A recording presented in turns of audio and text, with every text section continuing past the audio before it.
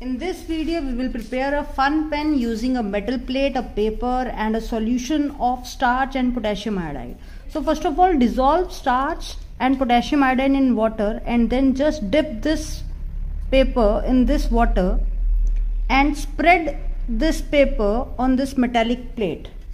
This is a just a copper plate I have taken here. And now join a battery like this one end to this metal plate and other free end will be working as a fun pen here.